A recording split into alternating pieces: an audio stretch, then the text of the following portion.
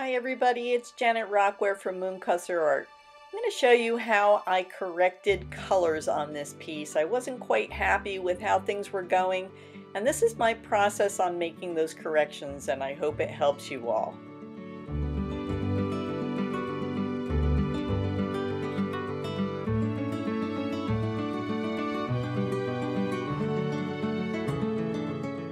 Okay, so day one. I had prepped my board. I painted it white. It's an MDF board that's cradled. And then I dry laid my fireplace glass in the design I wanted. I mixed up some resin and I wanted to go very transparent. I really wanted to let the glass kind of speak for itself. And filled it all in. The resin will hold all the glass on the board. I never had a problem with that. I then go and start adding on my lines. Now this color I picked, I didn't like. The minute I started pouring that on the cup, and I thought, boy, it's not very green, it's too blue for me. I also started to pour my gold lines, and the gold I had selected came out really yellow. So it was not what I was hoping for on this.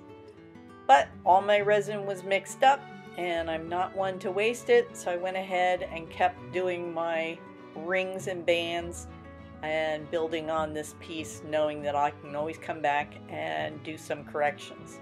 I'm going to do my green centers where I'm going to set my crystals.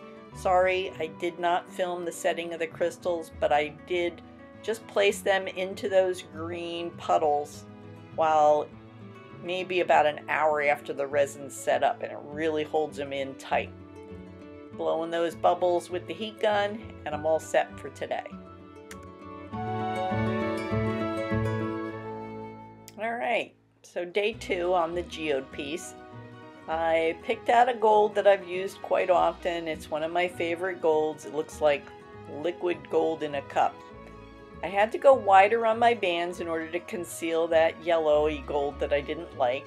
And I'm also adding just a little bit of gold to the centers of the crystal points that I put in that dark green. It's going to cover up any of the green in those centers and it's going to help to anchor them into place just a little bit better. Won't give me any worries.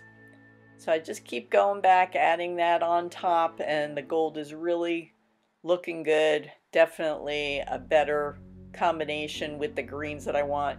Here I'm adding more gold around the yellowy gold bands.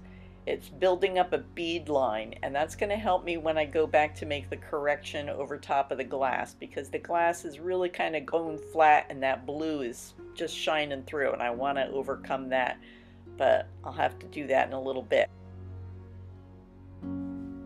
So while those golds are setting up I went ahead and mixed some more resin and colored it it's a nice green, it's got an olive color to it, a little bit of metallic, and then I ring it with some white. So the resin is very fluid at this point, and that's important because what I'm doing now is I'm pouring those rings right up against each other.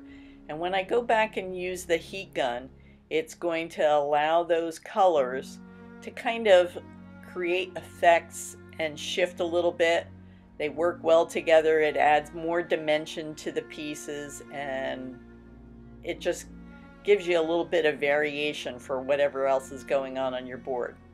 So still had some more of that green. I really liked it.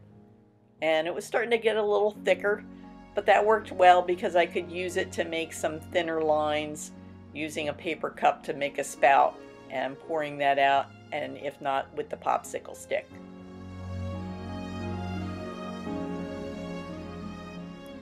Okay, day three, and we're moving along well. I decided I was going to tackle coloring the glass again, so I mixed up some more green, a little bit heavier in the color, and poured it over top. It's still transparent because I really want the glass to speak out of the piece for me. I'm happy with that. It covered up some of the blue, went right up to my gold dam, so I'm happy with that. I went back, tinted the resin even darker green, and filled in some of the puddle areas. And what I'm going to do with those is I'm going to lay in some glass seed beads. Now the seed beads I used on this one are metallic beads.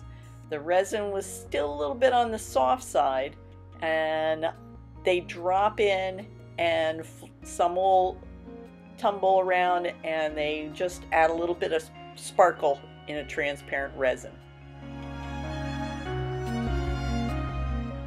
Right, day four, final day. Only have a little bit more to put resin on.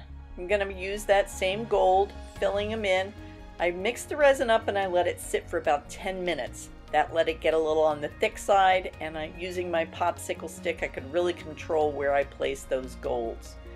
I went all around the board, found all the spots, and finally mixed up one more batch of resin in a small cup, dumped a bunch of glitter in there, and I poured a couple of rings over top of those large gold bands around the center greens. It just created another dimension. After everything was all cured the next day, I added in my detail lines and now I'm very satisfied with how it all turned out. Thanks for watching.